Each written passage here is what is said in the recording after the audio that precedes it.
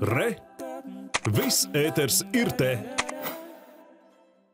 Только через 10 дней агентство ВАЛ с Некустом и Ипашами намерено раскрыть детали сделки, по которой здание службы госдоходов Межапарке оказалось в собственности государства. Назовут и главная стоимость приобретения. Пока же СГД по-прежнему платит за аренду помещений, возможно, завышенную ставку. В деталях сделки разбирался Алексей Дунда.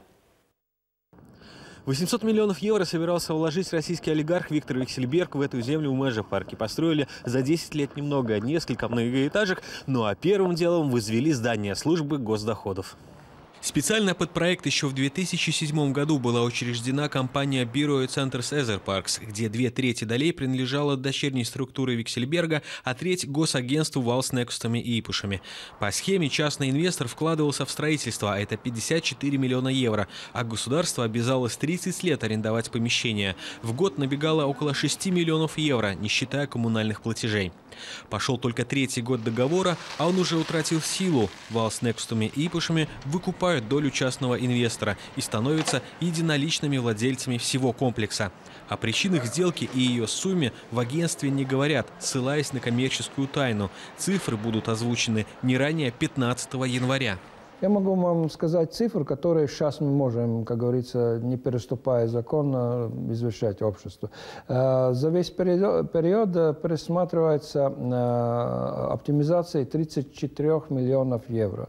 То есть каждый год около 1 миллион 200 тысяч евро. Еще в апреле прошлого года программа латвийского телевидения де-факто сообщала, что СГД, вероятно, переплачивает за свои помещения.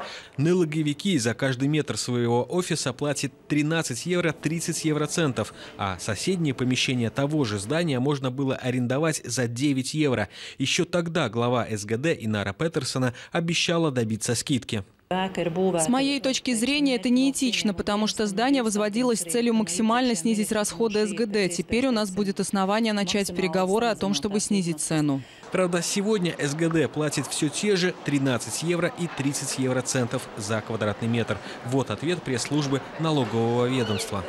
В соответствии с договором между СГД и Валстснекустами и Пашуми об аренде помещений в здании на улице Талес-1 в Риге арендная плата за один квадратный метр составляет 13 евро и 30 центов без НДС. Будет ли аренда снижена, пока неизвестно. Арендную плату платят согласно договору, как это и было. Конечно, государство, одно государственное учреждение будет договариваться с другим государственным учреждением, и в соответствии с законом будут приниматься решения. Алексей Дунда, Кришинис Лейтис, Латвийское телевидение.